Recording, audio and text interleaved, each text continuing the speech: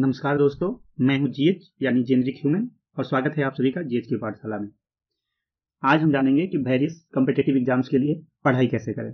I mean how to study for competitive exams ये जानने से पहले कि आखिर एग्ज़ाम की तैयारी कैसे करें, सबसे पहले हमें ये जानना होगा कि पढ़ना कैसे है। और पढ़ना कैसे ये जानने से पहले ये जाने कि आखिर हमारा दिमाग, हमारा मेमोरी काम कैसे करता है। तो बेसिकली हमारे पास दो तरह की मेमोरी होती है। एक टेम्प्रोरी जिसे शॉर्ट टर्म भी बोलते हैं हम, और दूसरा क्या होता है? परमानेंट मेमोरी तो जब हम किसी काम को कभी कभार करते हैं, जैसे कोई काम आज हमने किया, फिर उसे छोड़ दिया, फिर कभी नहीं किया, एक सप्ताह, दस दिन, महीना, दिन बाद किया तो वो सारी बातें पूरी तरह से हमें याद नहीं रहती है। उसमें का कुछ पोर्शन हम याद रखते हैं, और मोस्ट ऑफ़ द पोर्शन क्या होता है? हम भूल जाते हैं। तो ये मेरा क्या हो गया? शॉर्ट टर्म मतलब अभी किया तो मुझे याद है अभी, कुछ घंटों तक याद रहेगा पर फॉर ए लॉन्ग ड्यूरेशन क्या होगा? नहीं याद रहेगा। बेसिकली ह्यूमन मेमोरी जो होता है, वो क्या होता है? फ़ंक्शन ऑफ़ टाइम होता है। जैसे ये टाइम का ग्राफ है और ये आपका मेमोरी आपने कुछ याद किया तो वो क्या होगा? टाइम के साथ साथ क्या होगा? ऐसे डिक्रीज चला, होता चला जाएगा, इस तरह से। ठीक है? तो क्या होगा कि अगर आप किसी चीज़ को चाहते हैं कि वो परमानेंटली आपके मेमोरी में स्टोर रहे तो उसे क्या करना होगा? टेम्पोरी मेमोरी से परमानेंट मेमोरी में शिफ्ट करना पड़ेगा। शॉर्ट टर्म से क्या होगा? लॉन्ग टर्म में करना होगा। ठीक है? तो यही तो बेसिकली एग्ज़ाम में क्या होता है? जैसे हम पढ़ते हैं, दिन रात पढ़ रहे हैं, पढ़ रहे हैं। पर क्या होगा? जब एग्ज़ाम आया तो हम परफॉर्म नहीं कर पाए। इसका मेन एक ये भी बहुत बड़ी वजह हो जाता है कि क्या होता है मोस्ट ऑफ़ चीज़ जो हम पढ़े रहते हैं, वो भूल जाते हैं, वो ठीक से याद नहीं रहता। है इसलिए बार बार कहा जाता है कि एग्ज़ाम्स के पहले दो तीन दिन पहले आप क्या करो कि रिविजन करो सारे फॉर्मूलाज हर चीज़ जो आपने पढ़ा। तो ये सिर्फ़ ऐसा नहीं कि एग्ज़ाम्स के समय ही हम ऐसा करेंगे, बल्कि हमारे पढ़ाई के दौरान भी इस चीज़ को हमें करना है। वो कैसे करना है, मैं आपको बताऊँगा। तो बेसिकली हमारा टारगेट क्या है कि शॉर्ट टर्म से क्या करना है? उसे परमानेंट यानी लॉन्ग टर्म मेमोरी में शिफ्ट करना है। और इसके लिए सबसे बड़ी चीज़ क्या करनी है? हमें बस एक ही की है। क्या है? रिवीजन जो हम कुछ भी पढ़ते हैं, जो कुछ भी हम पढ़ते हैं, उसे क्या करना है? हमें एक पीरियोडिकली जो है मतलब एक फिक्स टाइम के बाद उसे बार बार क्या करना है? रिवीजन करना है। रिवीजन के माध्यम से क्या करना है? रिपीट करना है। और जब इसे हम बार बार रिपीट करेंगे तो क्या होगा वो? शॉर्ट टर्म ना हो कि वो परमानेंट मेमोरी में स्टोर हो जाएगा। और फिर क्या होगा? जब कभी भी हम एग्ज़ाम्स देते तब या फिर बाद में भी फ्यूचर में भी उसे हम यूज़ कर सके। ठीक है? तो अब देखिए एक्चुअली देखिए, अब क्या होता है? बहुत सारे स्टूडेंट ऐसे भी पूछते हैं कि, सर हम याद तो करते हैं, पर बार बार भूल जाते हैं। तो ये नॉर्मल है, ऐसा नहीं है कि सिर्फ़ आप ही के साथ हो रहा है, सबके साथ होता है मोस्ट लोगों के साथ। ये मान लो ह्यूमन ब्रेन है। तो होता क्या है ना कि जब कोई भी डाटा में जैसे फ़ीड करते हैं ह्यूमन ब्रेन में, ठीक है? तो वो क्या होता है? टाइम के साथ साथ क्या होता है वो? इवेपोरेट हो जाता है। डिस्पर्स हो जाता है? मतलब समय के साथ साथ क्या होगा? आप जैसे जैसे फिट करेंगे और वो क्या होता है? रिलीज़ होते चला जाता है मतलब खत्म होते चला जाता है। तो इसलिए हमें क्या करना है कि रिवीजन के माध्यम से जो कुछ भी हम भूल रहे हैं, उसे क्या करेंगे? फिर से दोबारा फ़ीड कर लेते हैं। इसलिए हम जब कभी भी उस चीज़ को दोबारा देखेंगे तो क्या होगा? हमने जो कुछ भी पढ़ा है, वो क्या होगा? रिकॉल हो जाएगा हमें। ठीक है? तो हमने समझ लिया कि आखिर कैसे किसी चीज़ को शॉर्ट टर्म से परमानेंट मेमोरी में शिफ्ट करेंगे। इसका मैंने बताया क्या तरीका तो रिवीजन ठीक है? तो वो रिवीजन कैसे हमें करना है? एक पीरियोडिक करना। है पीरियोडिक मतलब? पीरियोडिक मतलब एक फिक्स टाइम के बाद, ठीक है? अब जैसे हम रोज क्या करते हैं? छः घंटा पढ़ते हैं, कोई भी सब्जेक्ट कैसे पढ़ना है? इस बात को समझना एकदम ज़रूरी है। जैसे हम कोई चीज़ छः घंटा पढ़ते हैं, ठीक है? तो सबसे पहली चीज़ कि आप क्या कीजिए किसी सब्जेक्ट को लगातार एक बार बैठ के छः घंटा ना पढ़ें। क्या करें? अगर इसमें आप तीन सब्जेक्ट्स पढ़ते हैं या दो सब्जेक्ट्स पढ़ते हैं तो उसको क्या करें? ब्रेक करें। अगर एक सब्जेक्ट है तो आप इसे तीन तीन घंटा में क्या कर सकते हैं? तोड़ सकते हैं। इससे स्टडी आवर को अगर दो सब्जेक्ट इस तरह से दो से तीन घंटा मैक्सिमम दो से तीन घंटा का एक रिवोल्यूशन होना चाहिए। उसके बाद क्या करें? दो से तीन घंटा पढ़े, फिर क्या करें? कि दस से पंद्रह मिनट का क्या करें? एक शॉर्ट ब्रेक ले लें। उसमें आप क्या करें? ठीक है? या तो आप पानी पिए, ठीक है? या कोई सा भी। ऐसा नहीं कि ये जो आपका ब्रेक है, वो थर्टी मिनट्स या वन आवर का हो जाए, इस तरह का नहीं ब्रेक होना चाहिए कोई भी चीज़। और वो ब्रेक ऐसा होना चाहिए जिससे आप रिलैक्स फील करें, जिससे आपको ब्रेन को आराम मिले, ऐसा नहीं बैठ के मूवी देखने चलेगा ऐसा कुछ नहीं करे जिससे आपके ब्रेन को और वर्क करना पड़े। तो फिर वो आपका ब्रेक नहीं होगा। इससे क्या होगा, आपका फिर दिमाग को काम करते ही रह जाएगा। तो इसीलिए जो रेस्ट आपको चाहिए, वो रेस्ट आपको क्या? नहीं मिल पाएगा। तो इसीलिए ऐसा कुछ चीज़ करें, जैसे पानी पी सकते हैं। आप क्या कर सकते हैं, आँख बंद करके दस मिनट तक पावर नैप भी ले सकते हैं या फिर ध्यान कर सकते हैं। इस तरह का कुछ करें जिससे आप क्या करें कि बेटर फील करें, फिर से रिफ्रेश हो जाए, ताकि आप फिर से अगला जो तीन घंटा आप पढ़ने वाले हैं, वो फिर से पूरी एनर्जी के साथ आप क्या कर सकें, पढ़ सकें। ठीक है? आप क्या करेंगे, जो भी आपने डिफाइन किया, ये तीन घंटा का किया, या दो घंटा किया, किसी की, अगर आपको लगता है, कुछ लोग ऐसे भी होते हैं जो कंटिन्यूस छः घंटा पूरी इफिशियंसी के साथ एक्चुअली होता क्या है कि जो आपकी इफिशियंसी होती है, वो भी टाइम का फ़ंक्शन होता है। शुरू के फ्यू आवर्स जो है, ये मानते हैं तीन घंटा तो ये अच्छा परफॉर्म करें, देखिए, कम ही जा रहा फिर उसके बाद क्या होता है फिर डिक्रीज होने लगता है। तो जब आप ब्रेक ले लेंगे और रिफ्रेश होंगे रियल में रिफ्रेश होना, ऐसा नहीं कि ब्रेन को फिर से काम करने पे लगाए हुए हैं, लगाए हुए तो उससे आपको कोई फ़ायदा नहीं होगा। तो जब आप ब्रेक ले लेंगे छोटे शॉर्ट पीरियड के लिए तो क्या होगा, उसके बाद फिर करेंगे तो आपका ग्राफ फिर से ऊपर चला जाएगा। तो इस तरह से, फिर आप ब्रेक ले लेंगे। तो इस तरह से करेंगे तो आपको फिर कभी कोई प्रॉब्लम नहीं होगा और आप अच्छे से उस चीज़ को पढ़ पाएँगे, समझ पाएँगे। तो ये रहा पढ़ने का ट्रिक्स अब क्या करना है कि जैसे आपने क्या किया? कि छः घंटा पढ़ा। तो आप क्या करेंगे? ये जो छः घंटा है, इसको बेसिकली पढ़ने के लिए हम क्या करेंगे? फाइव आवर्स रखेंगे। ठीक है? बेसिकली मेरा इफ़ेक्टिव पढ़ाई क्या हुआ? पाँच घंटा हुआ। बीच में मेरा क्या हुआ? कि ट्वेंटी मिनट्स का ब्रेक हो गया। ठीक है? और लास्ट का क्या होगा? कि फोर्टी मिनट्स जो होगा, उसको हम क्या करेंगे?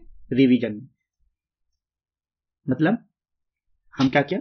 हमने जो है छः घंटा का जो भी मेरा पढ़ाई का रूटीन है, उसको इस तरह से ब्रेक करेंगे कि मेरा इफ़ेक्टिव ठीक है? इफ़ेक्टिव स्टडी आवर्स मेरा फाइव आवर्स होना चाहिए, ठीक है? आप इसके लिए क्या कर सकते हैं? एक स्टॉप वॉच भी ले सकते हैं। और जब आप पढ़ने बैठे तो स्टॉप वॉच टाइमर वाट जो भी आपको कन्वीनियंट लगे, ठीक है? वो लेके आप स्टार्ट कर दें, ठीक है? और जब भी अगर आप दो मिनट के लिए भी टेबल से उठ रहे हैं, या जहाँ भी पढ़ते हैं, वहाँ से उठ रहे हैं तो आप पॉज कर दें। ठीक है, ऐसे हमें लगता है कि हम पढ़ रहे हैं दस घंटे, पर रियल में इफ़ेक्टिव पढ़ाई हमारी पाँच घंटे छः घंटे होती है। इस तरह से तो हम कैलकुलेट नहीं कर पाते हैं और मन में खुश होते हैं कि हम बहुत पढ़ रहे हैं, पर ऐसा होता नहीं है एक्चुअली तो आप इससे ट्रैक करने के लिए दो दिन, चार दिन में आपको पता चल जाएगा सच में अगर हम दस घंटा पढ़ते हैं तो क्या दस घंटा पढ़ते हैं, या फिर इफेक्टिवली कितना घंटा पढ़ते हैं। तो आप पॉज करते फिर जब दोबारा आप बैठ रहे हैं अपने टेबल पर फिर पढ़ने के लिए ब्रेक के बाद, या फिर जिस भी वजह से आपने उठा था, फिर से बैठ गए तो फिर से आप स्टार्ट कर दें तो फाइनली आप देखेंगे कि आपका इफ़ेक्टिव कितना देर आपने पढ़ा है। तो बेसिकली आप क्या करेंगे इसे पाँच घंटा में कर देंगे, और उसके बाद क्या करना है बस इस ये जो छः घंटे की पढ़ाई है उसमें आप बीस मिनट का ब्रेक ले सकते हैं मतलब दस दस मिनट का दो बार ले सकते हैं बीच में। और आखिरी जो है, आपका जो चालीस मिनट है, उसका रिवीजन तो इस रिवीजन में हम क्या करना है तो बेसिकली हमने जो लास्ट पाँच घंटे में जो कुछ भी पढ़ा है तो उसको क्या करेंगे, एक बार रिकैप कर लेंगे। ठीक है? कि अच्छा ये मैंने सीखा, ये चीज़ मैंने पढ़ा अच्छा ये है कोई फॉर्मूला है तो उसको मैंने फिर से क्या किया, कि रिवाइज कर लिया रिपीट कर लिया रिकॉल कर लिया। इससे क्या होगा कि अभी जो मैंने पढ़ा था तो होता क्या है दिमाग में अच्छे से एडजस्ट नहीं हो पाता। कभी ऐसा भी होता है कि हम पढ़ते हैं, पर दिमाग में अच्छे से एडजस्ट नहीं होता। पुराना फार्मूला हमने पढ़ा तो नया फॉर्मूला फिर जब पढ़ा तो पुराना वाला क्या हो गया? इधर उधर हो गया। तो कन्फ्यूज़न हो जाता है। तो अगर आप उस इंस्टेंट पर पढ़ने के जस्ट बाद, पढ़ने के लास्ट आवर में क्या करेंगे, आप रिवीजन कर लेंगे तो आपका जो फॉर्मूला है वो अच्छे से एक सीक्वेंस में क्या होगा कि हर चीज़ जो है आपका अरेंज हो जाएगा। अच्छा ये चीज़ ये ऐसे था, ये फॉर्मूला ऐसे था अच्छा यहाँ पे ये था, आप उस रिलेशन को समझ पाएँगे कि अच्छा इस फॉर्मूला में ये था, इस फॉर्मूला में ये नहीं है। अगर ये होगा तो ऐसे करेंगे, ये होगा तो ऐसे करेंगे। तो ये चीज़ आप जो है, उस समय जब आप रिविजन करेंगे तो उस समय ये चीज़ आपको फ़ायदा हो जाएगा, ठीक है? उसके बाद आप क्या करेंगे? ये तो मेरा डेली का पढ़ने का रूटीन हो गया कि जो भी है। ऐसा नहीं कि मैंने एग्ज़ाम्पल के तौर पे आपको छः घंटा बताया। ज़रूरी नहीं कि आप छः घंटा भी, आप आठ घंटा, दस घंटा, बारह घंटे, जैसा आपका टाइम परमिट करे या जैसी आपकी एफिशिएंसी हो, उसके अकॉर्डिंग आप करेंगे। मैंने एक सैंपल के तौर पर छः घंटे है। तो लेकिन इस चीज़ को हमेशा फॉलो करेंगे, ठीक है? कि अपना ट्वेंटी जो भी आप पढ़ रहे हैं, उसका ट्वेंटी टाइम जो है, आप जो है उसे रिविजन में ज़रूर दें, ठीक है? अब क्या करना है कि ये मेरा डेली का हो गया, इस तरह से हम पढ़ते चले जाएँगे। फिर क्या करेंगे? अब वीकली रिवीजन हमको करना है। तो वीकली रिवीजन कैसे करेंगे? तो देखिए हम ह्यूमन हैं, हमें रिफ्रेश भी होना ज़रूरी होता है, इंसान है स्टूडेंट लाइफ में जी रहे हैं तो इंजॉय करना भी ज़रूरी है। तो कम्पिटेटिव एग्ज़ाम्स के लिए एक चीज़ और सबसे ज़रूरी बात मैं ये कहूँगा कि जैसे होता क्या ना देखिए डे बाई डे कंपटीशन बढ़ते चला जा रहा है। तो हम तैयारी आप करने का दो तरीका बचा हुआ है हमारे पास कि एक पूरी सिलेबस को कवर करने के लिए हमें वक्त चाहिए। तो वो एक लिमिटेड आवर्स तो देना ही पड़ेगा, मानते हैं कि किसी कंपटीशन का एग्ज़ाम देने के लिए सिलेबस कंप्लीट करने के लिए मुझे टोटल जो है एक हज़ार घंटे पढ़ना होगा, ठीक है? ठीक है? एक हज़ार घंटा पढ़ने के बाद, क्या होगा कि हमारा सिलेबस कंप्लीट हो जाएगा। तो अब इसका क्या तरीका है कि 500 दिन जो है, वो दो दो आवर्स पढ़े, ठीक है? ऐसा हो सकता है। या फिर दूसरा क्या तरीका है कि दस दस घंटा जो है, ठीक है, वो सौ दिन पढ़े। ये दो तरीका हो सकता है। तो बेसिकली हम, मेरा पर्सनल ओपिनियन क्या है, जिस, इसको आप प्रेफरेंस दें। कम समय में आप ज़्यादा मेहनत कर रहे हैं। या आप ऐसे पढ़ेंगे, ज़्यादा वक्त लेंगे, किसी एग्ज़ाम की प्रिपरेशन में ज़्यादा वक्त लेंगे तो टाइम के साथ साथ आप बोर फील करने लगेंगे। और पहला ये आपका हो जाएगा, और दूसरा क्या होगा, लेकिन वही कम टाइम आप लेते हैं तो आप मोटिवेटेड रहेंगे। आप आठ घंटा पढ़िए, जैसे आपका टाइम परमिट करें। बेसिकली करने का कॉन्सेप्ट यही है कि आप कम टाइम ले, पर ज़्यादा आवर्स दें, ठीक है? क्योंकि अगर जैसे जैसे टाइम बीतते चला जाएगा, अगर लंबा कम पढ़ रहे हैं और ज़्यादा वक्त ले रहे हैं तो क्या होगा कि आप बोर फील करने लगेंगे प्रिपरेशन में। फिर मज़ा नहीं आएगा आपको प्रिपरेशन करने में। पहला बात ये, दूसरा बात ये हो जाएगा कि टाइम के साथ साथ मैंने अभी आपको बताया कि क्या होगा कि आपकी यादाश्त आपकी मेमोरी जो है कम होती चली जाएगी और भूलने की आदत नॉर्मल है तो आप भूलते चले जाएँगे। तो इससे क्या होगा? फिर आपको वक्त एक्स्ट्रा वक्त दे देना पड़ेगा रिवीजन के लिए। लेकिन वहीं अगर कम समय में आप करते हैं तो क्या होगा? कि कम दिनों में करते हैं तो कम दिनों में कीजिएगा तो आप बहुत कम ही भूल पाएँगे। और अभी बने रहेंगे आप ताज़ा ताज़ा आपको याद भी रहेगा पिछले एग्ज़ाम में आप क्या करेंगे? बेहतर परफॉर्म कर पाएँगे। तो मानते हैं आप कोई कहेगा कि मेरे पास एक साल का टाइम है और सिलेबस मेरा कंप्लीट होगा तो नो कोई प्रॉब्लम नहीं। आप फिर उसे रिवीजन करते रहें और बहुत अलग अलग सोर्स है, उससे देखें कि कहीं कोई गैप तो नहीं है जिसे हम फील करें। तो आपको वो इंटेंसिटी बना के रखना है हमेशा से, वो स्प्रिट बना के रखना है पढ़ाई के लिए। तब जाके आप बेहतर परफॉर्म कर पाएँगे। ठीक है? और हमेशा कोशिश यही रहना चाहिए कि पहला अटैम्प्ट में ज़्यादा से ज़्यादा दूसरा अटैम्प्ट मतलब शुरू के जो अटैम्प्ट होते हैं ना, वो उसका मज़ा ही अलग है। उसमें आप जो जितना अच्छा परफॉर्म कर पाएँगे, बाद में धीरे धीरे क्या होगा? आप बोर फील होते चले जाएँगे। लगेगा एक ही चीज़ का बार बार पढ़ना, एक ही कंपटीशन का क्या बार बार तैयारी करना। इसीलिए शुरू का अटैम्प्ट जो है, पूरे ज़ोर शोर के साथ आप लगाइए और कीजिए। और मुझे पूरी उम्मीद है कि आप ज़रूर सक्सेस होंगे। तो चलिए, आगे हम बढ़ते हैं। मैंने आपको बताया कि वीकली कैसे करना है। अब क्या करना है? कि वीकली पे हम आते हैं अभी, मैंने आपको बताया कि डेली कैसे करना है। तो ये चीज़ हो गया। आप डेली जैसे क्या हुआ कि जैसे सात दिन हुए मैंने मंडे से लेकर क्या हुआ? सैटरडे और सैटरडे हुआ और संडे हुआ। तो ये सात दिन हुआ। तो मैं बेसिकली आपको कहूँगा, आप अपना दिन चुन सकते हैं, कोई भी, कोई प्रॉब्लम नहीं है। आप अपने अनुसार, अपनी सुविधा के अनुसार चुन सकते हैं। तो मैं बेसिकली आपको सात दिन नहीं, आपको छः दिन ही पढ़ना है। और ये एक दिन जो है, आप बचा के रखना है। आप क्या कर सकते हैं? आपको ये छः दिन पढ़ना है और सातवां दिन क्या करना है? ये रिवीजन डे है आपका वीकली ठीक है? तो आप क्या करें कि आप ये दिन भर क्या करना है कि ये छो दिन आप पढ़ सकते हैं, ठीक है? अच्छे से। अगर जो लोग ज़्यादा मेहनत कर रहे हैं, रात में ठीक से नहीं सो पा रहे हैं, नींद पूरी नहीं हो पा रही है तो वो क्या करेंगे कि सैटरडे को थोड़ा जल्दी सो लेंगे और सैटरडे को अपना पूरा नींद पूरा कर लेना है, ठीक है? ताकि जब भी आप संडे को उठे तो पूरी तरह से रिफ्रेश रहें। और संडे को क्या करें? या तो आप दिन में अगर आप मस्ती करते हैं, घूमना है, दोस्तों के साथ घूमना है मूवी देखना है, या जो कुछ भी आपको अच्छा लगता है, खेलना कूदना, जो भी वाट जो भी आपका हॉबी है, उसे आप दिन में कर सकते हैं, ठीक है? और शाम में क्या करेंगे कि जो भी आपने मंडे से सैटरडे तक पढ़ा है, उसका क्या करेंगे? तीन चार घंटा के अंदर जो है रिवीजन कर लेंगे, ठीक है? या फिर आप ऐसे भी कर सकते हैं कि आप दिन में इसे रिवीजन कर सकते हैं, सुबह से लेकर दिन में रिवीजन कर ले संडे को, और फिर शाम में आप मूवी शूवी जो भी आपको तो आप अपने सुविधा के अनुसार जो है संडे को एडजस्ट कर सकते हैं। अगर संडे को आपका शेड्यूल कहीं बिज़ी है, या फिर आप कहीं जाने वाले हैं किसी दोस्त के यहाँ, या फिर फैमिली के साथ तो आप क्या करेंगे? ये संडे का रिवीजन जो है, वो क्या करेंगे? आप सैटरडे को शिफ्ट कर सकते हैं या सैटरडे शाम को शिफ्ट कर सकते हैं। इसके अनुसार हमेशा ये, इस चीज़ को हमेशा जो ध्यान रखें कि रिवीजन करना ही करना है। भले आप एक दिन कम पढ़े वीक में वो चलेगा। पर रिवीजन होना एकदम कंपलसरी रिवीजन ज़रूर करें, ठीक है? रिवीजन ज़्यादातर लोग इसलिए प्रॉब्लम में आते हैं एग्ज़ाम्स में कि वो बस पढ़ने पर ज़्यादा फोकस करते हैं रिविजन पे नहीं करते हैं। तो रिविजन करना एकदम ज़रूरी है। आप सप्ताह में पाँच ही दिन पढ़े, चार ही दिन पढ़े, लेकिन वो आपका जो है, अगर तीन दिन आप कहीं डिस्टर्ब रहे किसी भी वजह से तो आप वो तीन दिन ऐसे नहीं कि उसमें से रिवीजन को आपने एक्सक्लूड कर दिया, वो नहीं। रिवीजन आपका होना चाहिए, ठीक है? आप पढ़ाई में से तीन दिन हटा दो बोले लेकिन रिवीजन के दिन से आपको नहीं हटाना है। वो आपको रिवीजन करना ही करना है वीक में एक दिन रिवीजन ज़रूर करना है।